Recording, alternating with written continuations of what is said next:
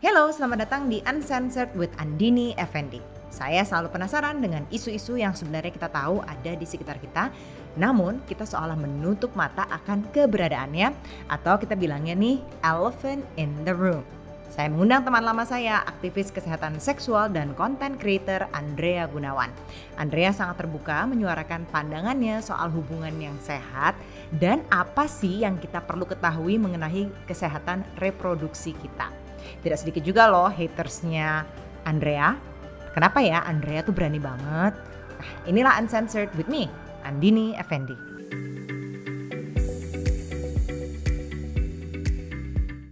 Hai Andrea. Hai Andini. Oh my god. Senang banget akhirnya ketemu. Ijo. Iya kita nggak janjian loh, tapi ijo-ijo ternyata ya. Iya banget. Nih lucu sebenarnya kita ada sejarah kita pernah kerja bareng.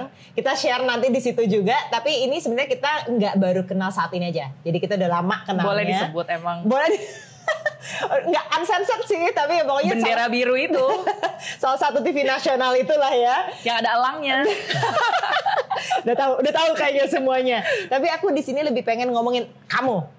Aku pengen kenalan lebih jauh lagi tentang kamu, apalagi yang Andre lakuin sekarang ini, ini kayak seru banget. Nggak banyak yang ngerjain itu, dan banyak yang pengen tahu sebenarnya terkait sexual health, ada soal rela- healthy relationship speaker. Oh my god, gue penasaran banget soal itu. Tapi sebelumnya aku pengen tahu dulu deh, Andre, lu tuh lahir di mana, besar di mana, who are you sih, karena bisa jadi seperti ini tuh gimana gitu Ini tuh loh. kayak ada artikel yang kalau nyebut eh, apa namanya Andrea Gunawan terlahir di Jakarta tanggal 18 November 1989 padahal itu nggak ada relasinya apa-apa ke artikel yang akan ditulis setelahnya ya tapi Hmm. ya itu tadi data-data gua Oke, lahir Jakarta. jadi gua asli Jakarta Oke, kemudian terlahir di keluarga yang sebenarnya sangat konservatif Chinese Indonesian. Chinese Indonesian sangat Catholic? konservatif Christian Christian, oke? yang sebenarnya sangat konservatif. Jadi ketika gue muncul di media sosial untuk Ya. ngomongin hal-hal yang dianggap tabu dan kontroversial, keluarga gue juga kayak What are you doing? Right, right. Ini by conservative meaning kayak mereka religious kah? They're very religious karena I came from a long line of priests actually. Oh my Jadi sebenarnya tunggu great great grandfather gue itu dari China. Dia waktu itu gue lupa ada apa di sana. Jadi dia kabur ke Indonesia dan dia ally uh, bikin alliance sama orang Belanda dan dia bikin GKI sebenarnya. Oh, Gereja wow. Kristen Indonesia. Jadi cikal bakal GKI ada dari kakek Uyut gitu ya? Iya. Oh gue lupa pakai great great great apalah grandfather. Oke, terus? Ya ternyata turunannya kayak begini gini.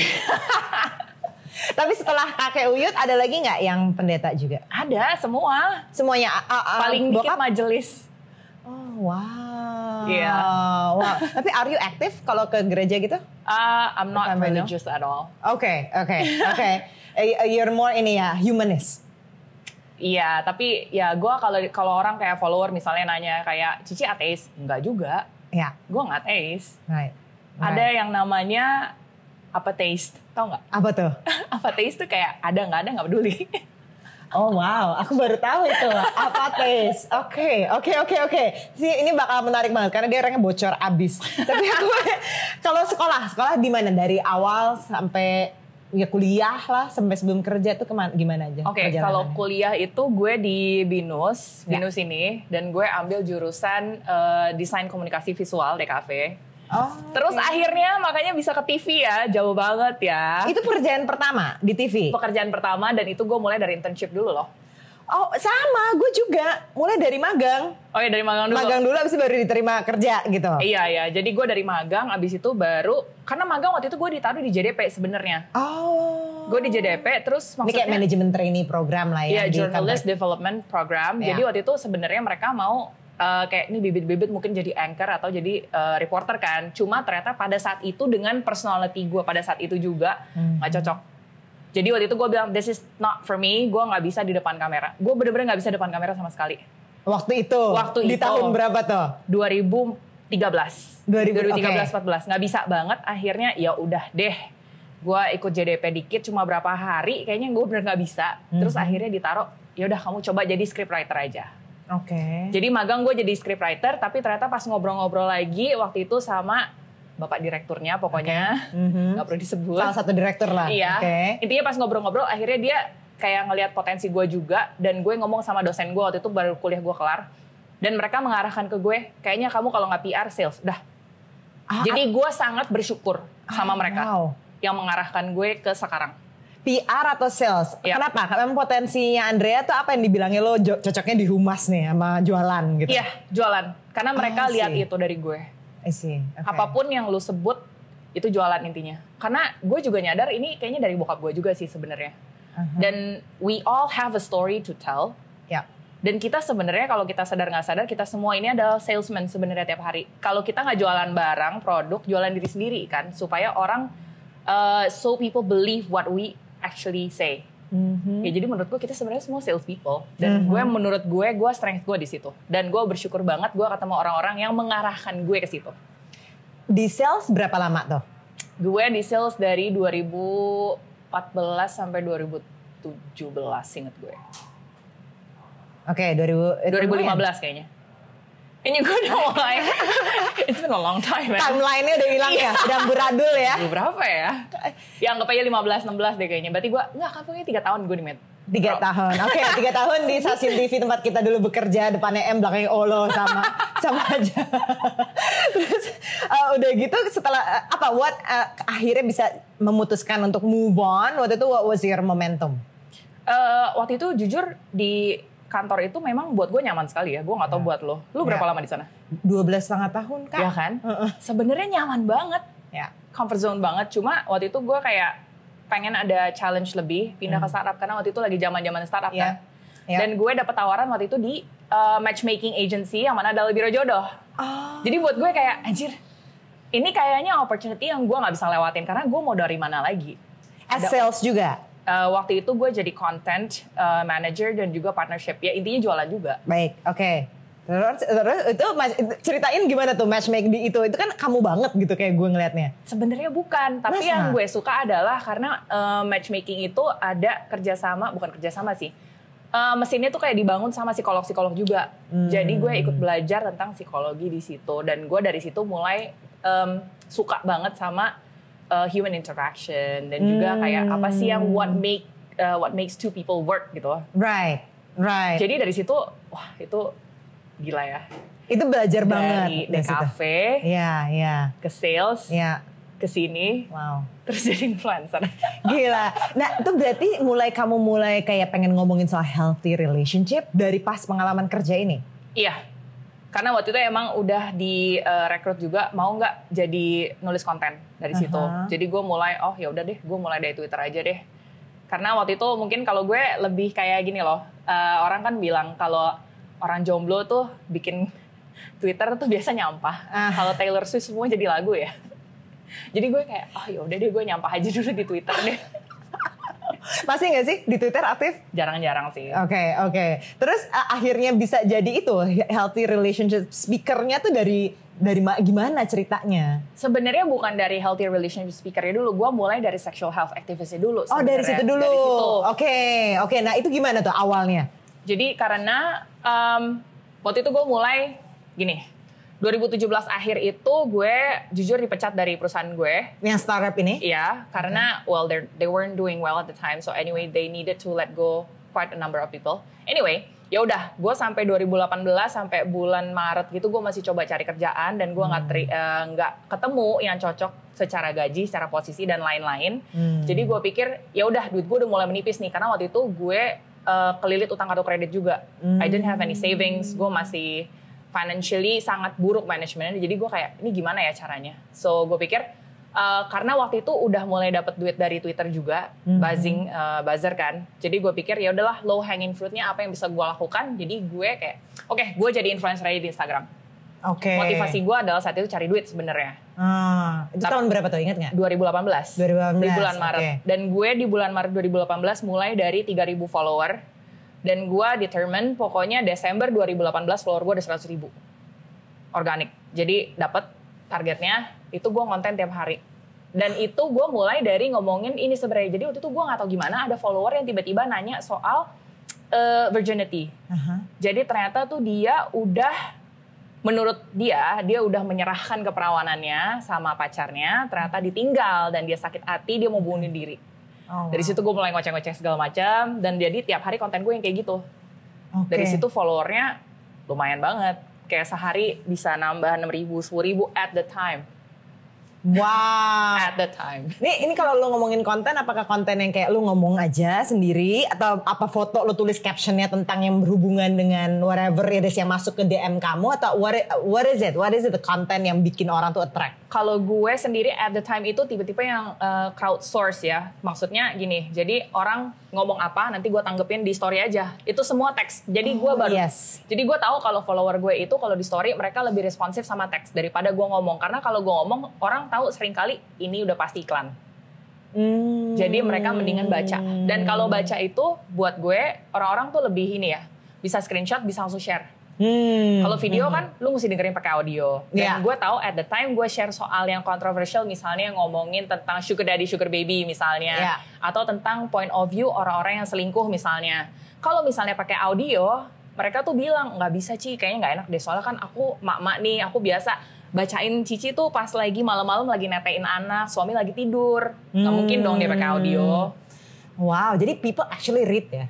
Iya, at the time ya. Jadi sampai teman-teman gue aja dari follower yang jadi teman mereka juga bilang, iya sih dulu gue bacain banget sih. Wow, and then how do you pick and choose the topics untuk dibahas itu? Hmm, kalau buat gue at the time yang menurut gue orang-orang kayaknya jarang ngomongin, tapi menurut gue menarik dan perlu dibahas. Bukan pengalaman. Enggak, enggak, enggak selalu, enggak selalu. Oke. Jadi gini, kayak misalnya ngomongin tentang selingkuh misalnya, itu Hmm. ya ada cerita-cerita dari follower segala macam. Tapi gue pengen tahu nih, apa sih motivasi orang yang selingkuh? Hmm. Gimana rasanya lu kalau diselingkuhin? Gimana rasanya lu jadi orang yang selingkuhan? Hmm. Dan satu lagi waktu itu yang gue tambah adalah point of view anak-anak dengan orang tua yang berselingkuh. Oh wow. Jadi gue tuh suka kalau share konten tuh yang 360 point of view gitu. Jadi kan gimana kita kan suka ngejudge ya, apalagi kalau misalnya let's say konteksnya ngomongin pelakor gitu. Kita ngejudge yang itu doang. ya Padahal belum tahu, kita kan we're not in their shoes, we don't know what's going on. betul betul. So you you're more curious than being Iya. judgmental. I like that. I really like that. Terus apa apa ada topik nggak yang kayaknya you're very passionate about sampai kayak lama gitu dibahas. Karena aku sempat follow deh beberapa tapi kayak yang oh ini panjang banget nih kayak gue miss nih something nih, you know. Uh, ada nggak sih yang sampai series or like one thing yang kayak lu bahas terus-terusan gitu loh because it was request, requested a lot. Apa ya tapi mostly mungkin tentang sexual health kali ya karena ternyata orang susah aksesnya di sini. Kayak misalnya se sesimpel membersihkan area kewanitaan kita. Hmm. ya kali masa mesti diajarin lagi sih. Emang di sekolah nggak diajarin. Tapi ternyata masih banyak orang nggak tahu. Atau ini kayak di Twitter ya itu yang eh, lu mungkin udah sering baca juga kalau yang kayak oh iya gue ketemu si cowok ini dari akun alter apalah terus gue berhubungan seks sama dia karena gue I'm on the pill misalnya gue pakai pil KB jadi gue pikir ya udahlah nggak apa-apa ternyata dia kena HIV Oh. Ya. jadi gue sering banget baca yang kayak begini jadi gue pikir kayaknya ini perlu diomongin terus Mhm. Apalagi percaya atau enggak, gue setiap minggu at least satu kali itu ada yang DM gue nanya rekomendasi klinik aborsi. As if gue tahu gitu, gue nggak tahu. Dan di Indonesia kan illegal ya. Iya, iya. Jadi At least seminggu sekali. at least seminggu sekali ada satu. Oh my lord. Jadi Wow. maksud gue ini tuh preventable ya gini-ginian ya. Ya. Itu yang gue ulang terus jadinya. So basically, kamu tuh benar-benar focusing di sexual health ini is because of like there is a void. Iya dan sebel aja gue. Sebel Iya. karena masa yang kayak gini bisa dikasih tahu sih gitu. Dan waktu itu karena gue at the po- at that point gue ngomongin itu mungkin kayak frekuensinya terus-terusan, akhirnya NGO NGO juga pada ngajak gue kerja sama. Mhm. Waktu itu gue kerja eh, diajak kerja sama sama Linkages namanya dia itu USAID funded. Eh, pokoknya untuk key populationnya HIV. Hmm. Jadi untuk mencegah, untuk encourage orang untuk ngetes. Oke, Gitu. oke. Nah sekarang tone-nya gimana dari awal Andre mulai sampai sekarang nih 2022 gitu. Kayak what's your observation terkait kayak the sexual health knowledge I guess based on your audience ya. Apakah mereka lebih paham kah sekarang? Atau lebih ada nggak sih perbedaannya dari pertama lo mulai sampai sekarang? Makin terbuka sih menurut gue kayak mereka mulai sadar ini hal-hal yang beneran perlu diomongin sebenarnya karena mungkin lingkungan mereka sama teman-teman mereka sendiri mereka nggak omongin atau mungkin kalau mereka punya anak kayaknya bingung gimana ya cara nyampein ke anak kalau misalnya ke depannya mereka akan punya kehidupan sendiri dan Mhm. akan mulai eksplorasi gitu. Mhm. Tapi em, ada juga kok yang masih mungkin mereka follower baru sih. Ada kemarin gue inget kemarin ada yang DM gue kayak eh Cici belum menikah tapi sudah berhubungan seks. gue kayak you must be new. Iya. Lu gak baca story-story gue. Oke, terus how do you deal kalau ada pertanyaan seperti itu? Iya enggak, gue cuma kayak you must be new. Eh, Oke oke, that's a nice comeback. Iya iya, oke. Terus apa namanya? Itu aku penasaran juga. You're very open about your relationship, ya kan, on social media. Eh, ceritain deh, kayak what was like in the, uh, the intention in the beginning, I guess, to be like very open. Dan lo nggak ini apa nggak pasti dapat hujatan juga sering dong. Karena I saw you responding to it, gitu kan. Ceritain deh, ceritain deh dengan dengan uh, why do you decide untuk being open about it? Um, kalau gue personally, I'm a very, I'm an open book juga. Ya. Gue bukan tipe-tipe orang yang mungkin kalau kayak my partner at this, uh, my current partner, current, ya, my current partner si Joe itu dia orangnya very private. Ya. Dia emang nggak suka uh, nge-share tentang private lives, nggak cuma sama pasangan tapi untuk keluarga juga dia emang orangnya tertutup kalau untuk di public gitu. Yin-yang banget dong. Jadi beda banget sebenarnya sama gue. Iya. Kalau gue kan kayak overshare banget segala macam. Iya, tapi kalau gue balik lagi kalau itu ke personality gue sih. I like to share basically kayak itu. Ya. Nah, kadang-kadang juga misalnya gue share sesuatu, ntar Joe juga nanya sih. Ini not related to my relationship aja. Kadang-kadang dia nanya, "Uh, why did you feel the need to share that? Hmm. Bukannya mau nyalahin gue atau apa, tapi kayak pengen tahu aja motivasinya apa. Kalau gue, Hmm. gue bilang, gue tuh pengen nge-share, eh, itu biasanya ada lessons learn-nya. Apa pun itu ya, misalnya dari relationship gue yang eh, yang jalan ataupun yang sudah lewat gitu. Mhm. Menurut gue itu ada lessons learn-nya. Orang-orang bisa ambil sesuatu dari itu. Paling nggak, don't do the same mistakes I did gitu. Kira-kira atau juga kayak misalnya buat nunjukin bahwa jadi gini gue tuh sering dapat uh, DM dari follower yang ngomong kayak Cici thank you banget ya udah share tentang hubungan kalian gini gini gini Hmm. I apa ya thank you for restoring my faith bahwa tuh masih ada good men out there Hmm. bahwa masih ada kok hubungan-hubungan yang bisa sehat gitu loh Ya. jadi gue mau nunjukin itu sebenarnya karena kalau ngomongin hubungan aja gue nggak cuma uh, share hubungan sama pasangan gue kok gue share hubungan sama nyokap gue misalnya gue share hubungan sama Kucing mbak lo. gue iya kucing sama mbak gue Mhm. sama ART gue gitu jadi Mhm. orang-orang kayak oh masih ada loh orang-orang yang seperti itu gitu Oke. Dan eh, Joe, it's okay kalau kamu benar-benar open tentang your relationship. kalau dia sih sebenarnya nggak gitu ngebatasin apa-apa ya karena dia bilang ya namanya medsos gue medsos gue Ya. ya, Cuma ya. yang ya dia lebih fokus ke gimana ya, I cannot control what other people do, but I can control what I do. Yang mana kalau Joe ya nggak ya dia udah bilang kalau gue ya gue akan keep keep it private. Mhm. You do you, I do me. Oke, Gitu. oke, oke, that's good. Tapi one of the post yang kayak yang sempat jadi perbincangan teman-teman kita juga semuanya anak-anak CrossFit ya, karena karena Joe di CrossFit ya. Kalau ada yang mau check out, Ibu yang- tahu nih. Iya, iya, iya, iya, you know right? Yang kayak karena gue kira, oh my god, she's engaged gitu Iya. loh. Karena kan lo bilang I said yes, oh my god, oh my god, shit, gue dilangkahin lagi nih gitu. Terus? Terus pas lanjut lanjut ternyata it's about anal. Is that like something that uh, emang emang you did or is it something that you wanna share yang pentingnya kita tuh untuk tahu about that issue or what was the uh, the ini the story Jadi sebenarnya gini, jadi waktu itu pas when that photo were take was taken itu jadi intinya one of the guest yang kayak, ah ayo sini gue fotoin deh, Hmm. Uh, give us some juicy poses lah, whatever. And then Hmm. we took the photo, terus kayak gitu lihat, eh ini it look like Joe juga bilang maksudnya it look like I just roast ya, Nah. I think it would be fun. ya udah, jadi gue bikin joke itu. I see. And then jadinya kayak Iya sih orangnya nggak pernah nggak baca deh, pada nggak baca sampai bawah ya. Mereka semua kayak, Congratulations ya. for doing it in the back. But ya jadinya Uh-huh. orang mulai curious karena akhirnya gue bahas juga. Ya. Karena kayak ngomongin anal misalnya atau intinya bukan anal doang kayak ngomong responsible sexual behavior itu banyak orang yang nggak bahas sebenarnya. Mhm. Mereka curious pengen coba tapi gimana sih how to do it safely Ya. Ya. gitu. Ya, I actually never apa ya touch upon kayak responsible Sexual behavior. se- sexual behavior other than to your own spouse kali ya. Tapi what, what- apa uh, I guess you can ini elaborate more. Apa connectionnya Andre tentang that uh, ini tentang anal and responsible sexual behavior. When it comes to like lo pacaran gitu loh. Sebenarnya it's like a ini kan effortless sexual relationship, right? Gitu. But like what is like the connection of it if you can share? The opposite of responsible sexual behavior is risky sexual behavior. It doesn't matter lu du, lu ngelakuinnya sama siapa sebenarnya. Ya. Jadi yang perlu diingat kan mungkin banyak orang nggak tahu ya. Oh ternyata nggak cuma untuk homoseksual aja ya Ci ya. Soalnya pasangan aku minta, tapi aku takut misalnya. Gimana ya? Takut sakit, takut nanti ada mungkin luka karena Ya. mereka mengasosiasikan anal sex uh, equals HIV. Yang see. mana salah. Mhm. As long as you do it right, Mhm. harusnya tidak ya makanya responsibly jadi nggak risky Ya, ya, gitu. ya. Jadi gue ngomongin waktu itu kebetulan juga kan gue kerjasama udah tiga tahun ini sama salah satu perusahaan kondom Mhm. dan produk-produknya. Jadi gue sekalian mengedukasi guys, it's okay to use lubricant. Karena ternyata ada follower-follower gue yang kayak bahkan suami-suaminya yang ngapain sih pakai gitu-gituan? Tapi kan jadi lecet. Ya.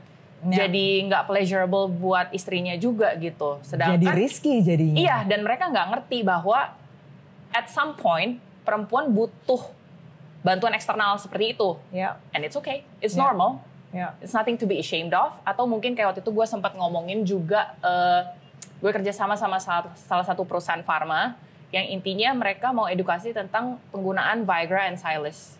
Itu untuk Apa itu satu lagi? Cialis. Uh, What is that? Jadi sama fungsinya sama sebenarnya untuk eh, menjaga ereksi, tapi em, yang satu mungkin tahannya 8 jam atau Mhm. 4 jam gue lupa, satu lagi bisa sampai 12 jam. Oh ini jadi untuk laki-laki. Ya untuk laki-laki. Oke. Tapi itu pas gue mengedukasi itu, em, ini loh gue mau dengan perusahaannya juga maksudnya. We wanted to normalize penggunaan bahwa ini tuh bukan untuk orang-orang yang 40-50 aja loh. Oh really? Tapi kan sometimes orang-orang muda juga mungkin gini, mereka lagi habis minum alkohol Hmm. atau lagi capek, lagi stres, nggak bisa dipaksa. Hmm. So you needed extra help aja. And it's Okay. okay, it's normal. Doesn't mean that something's wrong with you. Enggak. Tapi nggak boleh sering-sering dong itu. Enggak. Aha. Oke. Iya, tapi intinya gue tuh mau menormalisasi sesuatu yang seperti itu. Wow. Kayak- that, uh, yeah. that, that word normalisasi. When you try to normalize something gitu kan, itu kan pasti ada resistensi. Oh tentu. Iya kan? Lo ceritain deh Andre, aku I'm really amazed lo berani jadi kayak perisai literally untuk isu ini. ya ada per- perlu kita ngebahas tapi ya lu ditembakin mulu pasti kan gitu. Like how do you deal with it man? Seriously. Gue at some point, gue konsultasi ke psikolog gue sih. Oh wow. So eh, kamu juga talk to someone lah ya. Iya, Iya. jadi kalau misalnya gue rasa bener-bener rock bottom gue udah support dari orang tua, support sahabat, support pasangan udah ngempan ya, gue last resortnya ke psychologist Mhm. untuk ngingetin gue sih emang bahwa the noises they don't matter. Hmm. Yang penting it's what you believe in. Kalau if you believe that you're doing something right, then ya udah do it. And as long as it doesn't hurt anyone, ya udah. Kenapa? Enggak. Hmm. Gitu. Yang kayak lu ngomong tadi misalnya untuk menormalisasi sesuatu ada resistensi. Normalisasi perempuan punya pilihan aja susah banget. Oh, tell me about it girl. Yeah. Nggak usah ngomongin tadi mau ada eh, sexual apa namanya hubungan seks aja udah ini ini perempuan punya pilihan aja susah banget. Mhm, mhm. Bener banget. Tapi is that resistant coming also dari keluarga? Eh, kalau dari keluarga udah enggak karena gini waktu mereka tahu gue udah mulai dipublikasiin di media di berita dan juga mereka tahu gue udah kerja sama sama yang tadi linkages juga waktu itu gue diundang jadi speaker di AIDS 2020 waktu itu di San Francisco sama UNICEF segala macem jadi orang tua keluarga gue tuh kayak udah mulai bangga gitu bahkan mereka bisa kirim-kirim artikel gue ke keluarga yang lain atau mungkin dari teman-teman kuliah dia yang ngirim ini anak lu nih gitu Iya, iya. Oh, lucu banget. Tapi Iya. pasti ada nggak tante yang berisik? Masih ada dong. Kalau tante-tante yang berisik jujur udah goblok. Jadi bodo amat. Sama kayak gue ngeblok tante-tante yang suka nanya kapan kawin. Udah gue blok juga. Sometimes we need to just mute people, right? Iya, and then itu that's how we set boundaries kan. Kalau kita udah set boundaries orangnya mau nerobos terus ya gimana? There's nothing else we can do. Kita lock the door loh. Iya, iya, iya. Iya. Tapi kamu ada nggak pernah nggak ada pengalaman kayak hit rock bottom gitu ya? Itu karena perlawanan.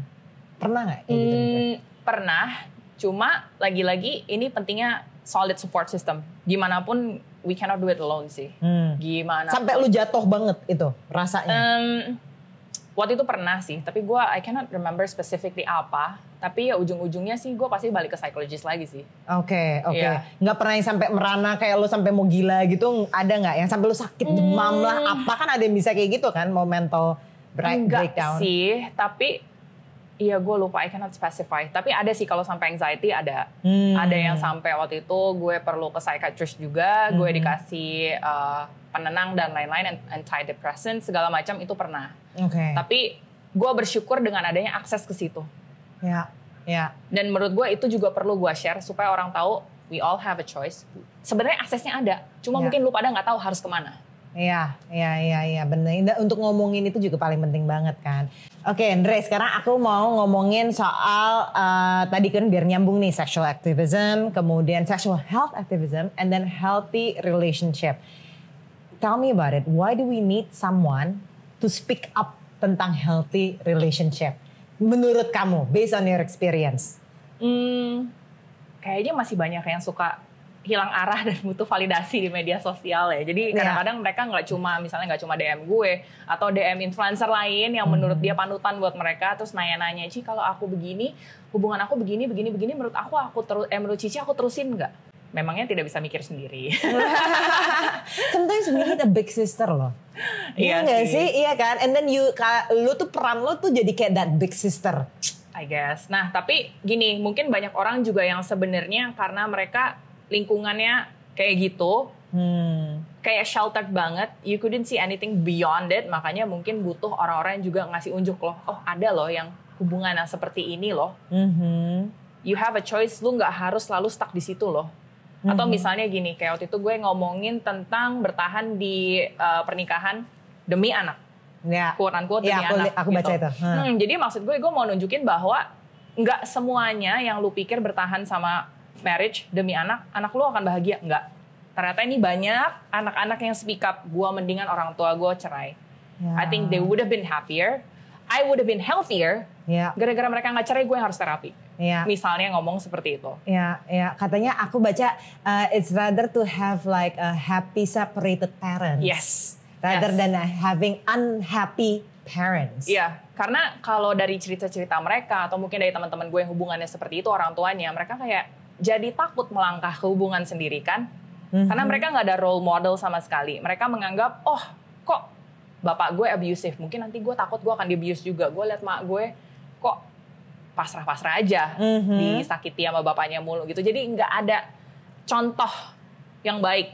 Right. Gimana sih hubungan yang sehat seharusnya? Iya, iya. Gitu. Ini menarik deh, karena kan biasanya orang kalau ngomongin ada satu isu tuh karena ada pengalaman. Hmm. Nah, aku ngeliatnya because pengalaman kamu, karena kamu you, you mention solid support system dua kali tadi. Iya. Mungkin karena lu punya pengalaman yang solid, that's why you can speak positively about it.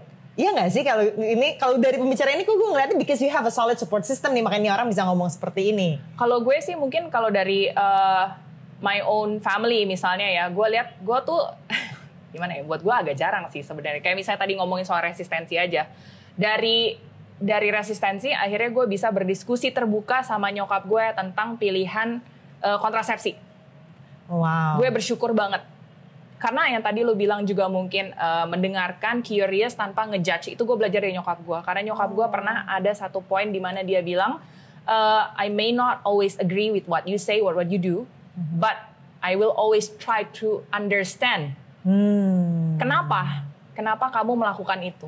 Kenapa kamu mengatakan itu? Gitu. Jadi gue belajar itu dari nyokap gue. Terus kalau misalnya kayak ngomongin tentang keluarga atau segala macam, ada yang kayak waktu itu gue pernah ngomongin tentang, gue cuma nanya doang sebenarnya di Twitter, kenapa sih kalau di Indonesia gaji pertama harus dikasih ke orang tua? Gue cuma nanya Ya, I gitu doang. gue cuma nanya gitu doang. Like I feel, I, I feel like it's a it's a harmless question ya. Ya, ya, ya. It's a curiosity. Iya, gue cuma karena gue tidak pernah diminta. Hmm. Jadi gue pengen tahu kenapa sih. Terus kayak ada reply-nya tuh, aduh waktu Twitter sih jahat ya. Jahat. Mereka tuh banyak yang kayak, lu kenapa sih kayak durhaka banget, masa orang tua minta aja nggak dikasih apa segala macem. Terus gue, maksud gue kalau secara personally, orang tua gue nggak pernah minta. kayak ya kamu simpen aja, mama papa cukup kok. Iya, iya, kamu iya. nabung aja buat beli apartemen gitu. Uh-uh. Jadi ya udah, jadi orang tua gue baik-baik aja. Jadi kayak dari pertanyaan itu kenapa jadi gue yang diserang? Ternyata itu kan gimana ya? Tadi gue ya akhirnya gue baca-baca juga responnya bahwa oh sebenarnya nggak wajib kok. Cuma ada orang-orang yang eh, kayak gini loh. Gue kan udah ngegedein lo. Aha. Ini sebagai rasa terima kasih lah, Apresiasi. apresiasi. Ya Mhm. udah. Ya gitulah. So interesting. Lu kadang-kadang curiousnya to things yang ya elephant in the room gitu loh. iya gak sih? Yang kayak ada tapi kita nggak pernah bahas tapi we know it's there gitu loh. Eh, kamu sebenarnya anak berapa sih, Dre? Dari berapa Firstborn. persen? Firstborn. You- Sama. Kayak firstborn tuh ada special traits deh. iya, iya. Res- eh, resistance tuh pada resistansi. Iya gak sih? Dari berapa bersaudara? Dari dua. Satu lagi adik kamu? Ah, beda 8 tahun dia polar opposite. Cewek? Polar opposite, ya. Cewek. Iya. Wow. Jadi benar beda banget sama kamu. Tapi are you close with like ini your sister, your family? Uh, we try to, tapi unfortunately enggak. Tapi jadi ya ada lah masa-masa curhat-curhat, habis itu yang enggak biasa aja. family dynamics lah ya. Iya. Family oke. Tapi uh, I- I'm so happy that you have that apa ya parents yang critical thinking dan mengajak lo critical thinking Gue juga. bersyukur banget sih. Jadi kalau kayak parents gue tiap minggu pasti dinner sama gue seminggu sekali. Dan waktu itu kayak gue kan suka ngundang kayak ayolah nginep sini kangen kan kadang-kadang atau pas lagi apa gue lupa mereka nginep semua terus gue lihat mereka tidur masih kadal gue kayak hmm. jadi gue gue pas gue buka kamar gitu mereka kok spooning gitu Aduh. kadang-kadang gue kayak oh I'm so happy Oh, kayak see that's why lo bisa ngomongin healthy relationship. Iya, nah ngomongin soal itu gue pernah lihat ada satu reel ya. Jadi Ah. cowok ngomong ke girlfriendnya, cowoknya cuma bilang, uh, "Hey, you know what? My parents have been married for 40 years." Terus si girlfriendnya tuh bilang, "Oh, that's so sweet. I cannot imagine uh, loving someone for 40 years." Terus the guy tuh bilang, "Who says anything about love?" Oh. Jadi gue kayak, ah, bener juga ya. Just because you're married doesn't mean you love the person you're married to. right. Oh wow. Oh, Jadi aku nggak tahu. I'm not married. I'm not married either. Tapi kan bisa Wow. lihat dari teman-teman dong. Iya, iya. At the end of the day, I think it's like a, well, I don't know. Someone says it's like a business deal. Iya kan, gimana pun juga it's a two between two person lo, it's like a deal gitu loh. I'm like, Yeah, it's a commitment juga. ujungnya. Iya, iya benar juga. Dre, ini aku penasaran. You talk so like eloquently tentang ya ini tentang uh, sexual health, tentang healthy relationship. Kayak gue tuh kayak ngomong sama psikolog gitu loh. Anjir enggak sih. I wish, I wish. Tapi di sekolah. iya, tapi lu ya, di, lu jadi sekolah lagi nggak sih atau jadi kursus lagi kayak apa? Karena lu ngomongnya bener-bener lancar banget gitu tentang ini. Enggak sih. Sebenarnya at one point gue sempet ngeliat courses marital uh, counselor. Tapi ternyata kalau marital counselor itu dia mesti ada bachelor's degree-nya di psychology. Jadi gue kayak ya masa gue mesti sekolah lagi 6 tahun. 4 tahun, 2 tahun terus course lagi kan kayaknya gue udah umur 33 udah. Mau kapan? Terus jadi like how do so you learn from like people's experience, cerita-cerita, uh, experiences dan juga gue I happen to be blessed to be friends with psychologists juga. Ya. Jadi even though they're not my psychologist, tapi mereka kayak sebagai teman, Hmm. gue sih saranin begini begini begini begini. Jadi gue senang sih punya sounding board yang actual psychologist juga sih. Oke, oke, that's so interesting. Karena gue mikir kayaknya that's the next step for you, I guess, no? Pengennya sih, Aha, no? tapi we'll see deh. Karena tapi speaking of gini, temen gue juga baru ada yang mulai ambil psychology. Jadi dia bilang, "Eh, doain gue ya umur 40 gue akan bisa mulai practicing. Gue kayak wow. See? Iya, jadi gue kayak wow. That's Iya. inspiring. Iya kan? Nih, what's also inspiring, uh, kalau belum lihat nih teman-teman di uh, IG page-nya Andrea ada link itu khusus tentang your story about uh, breast augmentation ya kita Ya. bilang. Oplas lah, oplas ya. Uh, awalnya kenapa Andre? Lu mau terbuka soal itu? Oh. Against, uh, aside that you're an open book. Iya. Ah, nah, kalau ngomongin soal terbuka adalah ketika gue mulai riset tentang eh, oplas payudara sebut- eh, tersebut susah banget dapat source dari Indonesia. Oke. Semua source-nya either dari blog bule atau YouTube-nya eh, orang-orang bule gitu. Terus yang menurut gue badannya nggak sama kayak gue. Gue agak susah nih nyocokin ini kira-kira kalau porsinya begini, gue sebaiknya implannya gimana ya atau experience-nya gimana ya. Dokter-dokternya juga kok di luar negeri semua gue cannot relate gitu. Terus juga ngomongin eh, ada di forum-forum banyak banget intinya dan akhirnya gue ketemu salah satu influencer dia American influencer, tapi she was based in Korea Hmm. Dan dia disponsorin sama salah satu klinik di Korea untuk breast augmentation. Mhm. Dan dia document the whole journey di blog dia sampai foto-foto lengkap apa segala macem. Dan gue waktu itu gue lupa lagi gimana caranya, pokoknya gue jadi temenan sama dia. Dan dia tuh share juga foto-fotonya yang dia nggak publish gitu. Ya. Dan bener-bener lengkap, dia kayak kayak gue bisa konsultasi sama dia gitu loh. Jadi gue seneng banget. Oke. Jadi gue pikir I wanna be like her. Gue Oke. pengen jadi source untuk orang-orang tahu bahwa oh di Indonesia ada loh. Aha. Kalau lu mau operasi payudara di Indonesia ada loh dokter yang bagus. Udah Ya. bisa. Lu nggak harus ke Korea lah. Lu Banget. nggak harus ke Thailand. Mhm. Misalnya seperti itu. Jadi gue pengen jadi source. Oke. Educational source sebenarnya. Kalau aku boleh tahu awalnya kamu kepengen waktu itu untuk oplas itu apa? Sebenarnya, aduh ini kan terjadinya di pandemi ya. Mungkin kayak Oh di pandemi ini terjadinya. Iya, pas pandemi Oh, banget. Oke. Gue masih mesti PCR segala pas oplas mana gue dua kali kan oplasnya. Iya dan katanya trennya meningkat loh pas lagi pandemi. Iya, wah gila. Lo nggak tahu ya, pas pertama kali gue uh, oplas itu gue ini tahun 2020, singet gue. Aha. 2020 itu gue kaget banget di ruang tunggunya. Semua orang habis operasi hidung. Itu full, gue sampai bingung mau duduk di mana. Wow. Wow. Jadi Itu- ya. kayak eh Mhm. siapa bilang ekonomi crash pas pandemi? Enggak. Iya. itu oplas masih jalan terus cuy. banget. Salah satu industri yang naik tuh katanya itu.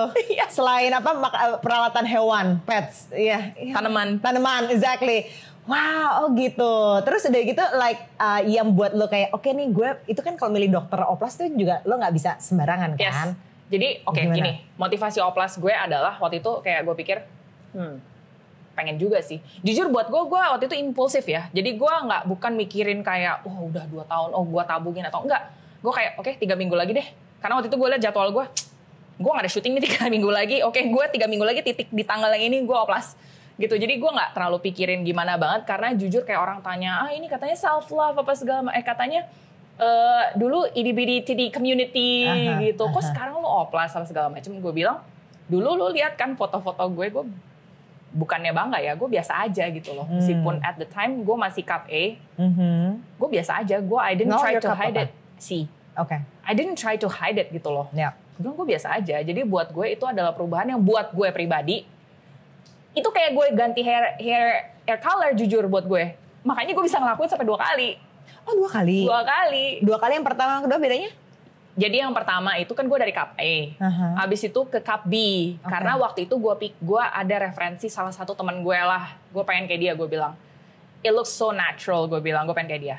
Dokter gue udah bilang, kayaknya kalau dari dia ke kamu kekecilan. Hmm. Tapi ya udah. Tata pas jadi, iya ya kok cuma segini ya. Kayak nggak berasa dari A ke B doang coy.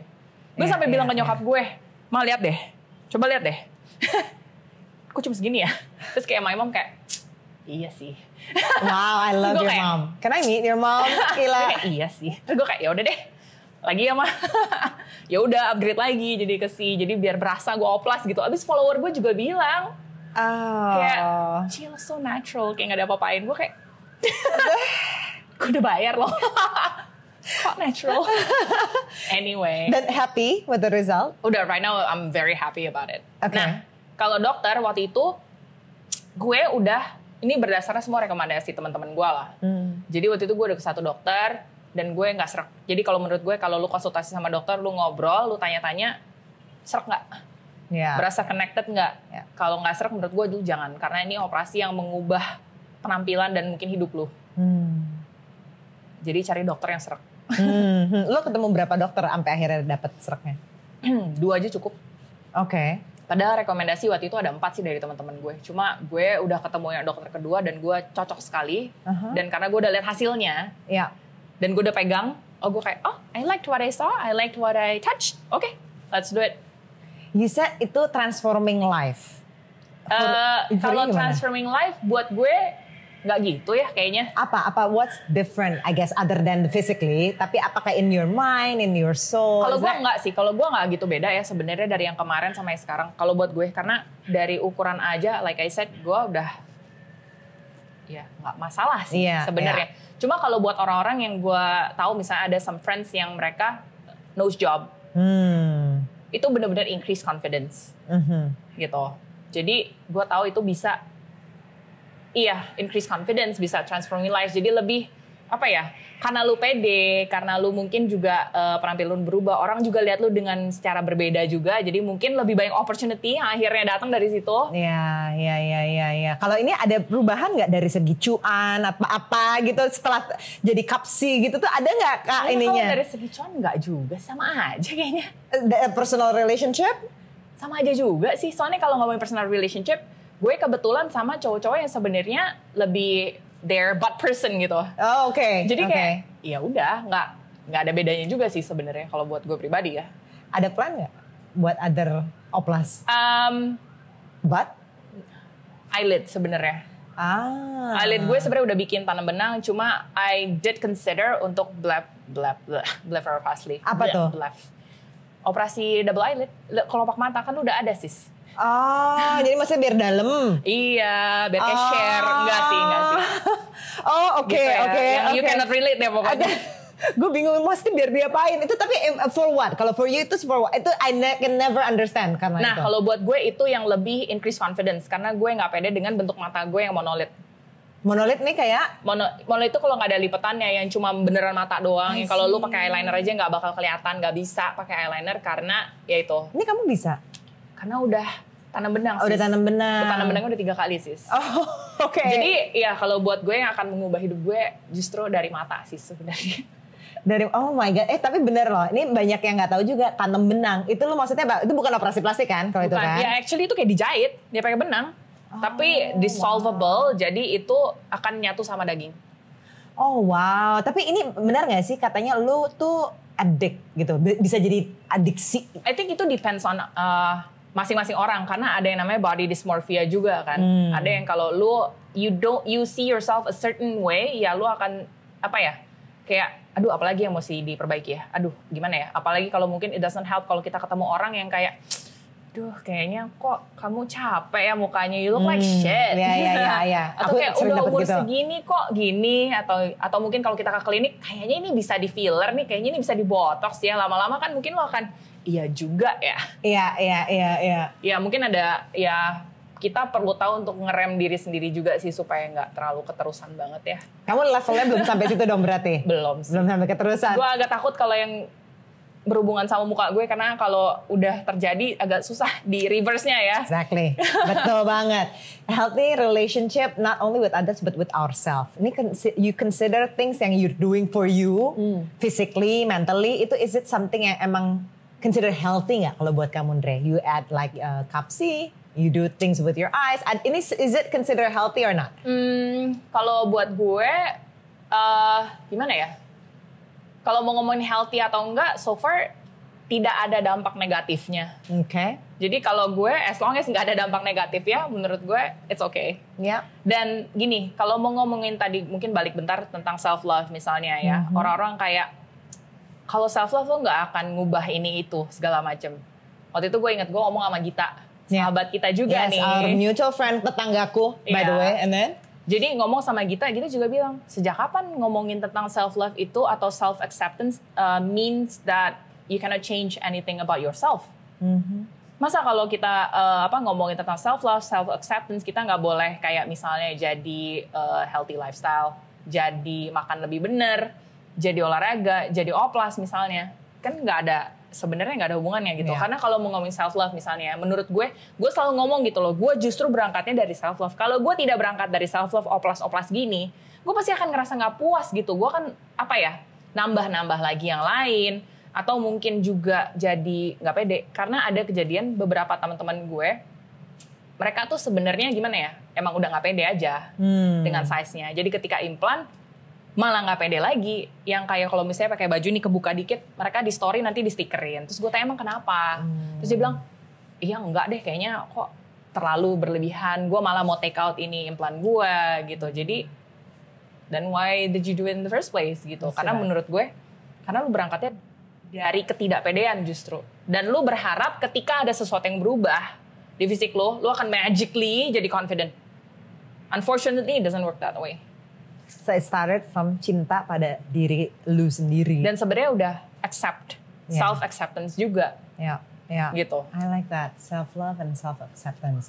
Dre, aku menurut aku nih nggak banyak orang kayak kamu yang aku kenal not only ngomongin Indonesia, di mana-mana sih sebenarnya. Gue ngeliat nggak banyak orang yang very outspoken dan berani dan stay true to herself, regardless apa pun message yang lo bilang. So what's like the big plans for you? What are the big plans if I may know gitu? Because you've done a lot, man. Gue sih sebenarnya kepikiran tadi kalau untuk ngambil marital counselor tadi. Ya. Jadi it's still in the back of my mind. Ya. Gue tinggal kapan ya gue sekolah lagi atau sebenarnya gue cuma cuma pengen pensiun dini aja. Ya.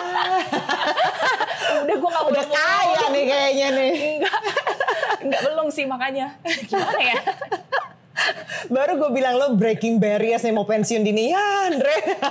gue capek kerja gue pengen kayak youtuber-youtuber yang kayak udah dulu ya kontennya udah selesai gue udah retired gue I don't think you can. Lu umur berapa? Lu kayak pecicilan soalnya lo nggak bisa diem sih menurut gue. Iya sih. You can take a break, but not a long break, you know? Iya ya. Jadi sebenarnya kalau mungkin lo tahu juga gue ada salah satu perusahaan itu namanya Fillmore Body. Yes. Itu juga eh, apa ya? We're not just a menstrual cup company tapi juga mau ke female wellness company sih sebenarnya. I like that. Ini nih very uh, su- sustainable, eco-friendly, right? Yeah. Right? Uh, tell us more deh tentang si Fillmore ini. Jadi sebenarnya si Fillmore ini juga it's not just about the product. Uh, jadi ini sebenarnya movement juga dan mulai dari community juga sih. Jadi Oke. memang bertujuan untuk edukasi-edukasi tentang hal-hal seperti ini juga. Apalagi mungkin terinspirasi dari teman-teman yang udah ngelakuin sebelumnya misalnya kayak uh, ke remote area mereka masih gimana nggak ada akses to clean water terus gimana untuk period menstruasi harus gimana segala macem.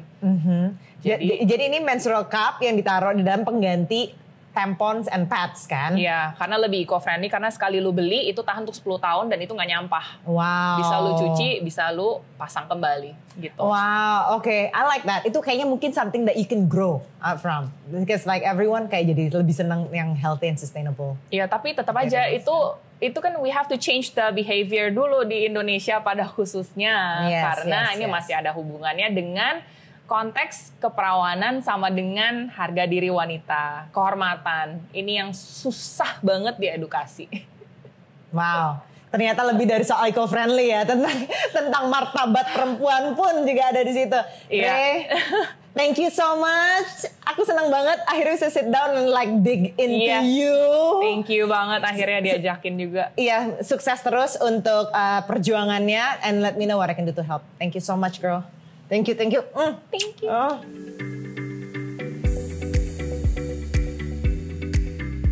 This show is produced by Golden Talks and Summertime Studios. Terima kasih banyak sudah menonton atau buat kalian yang mendengarkan episode ini di podcast.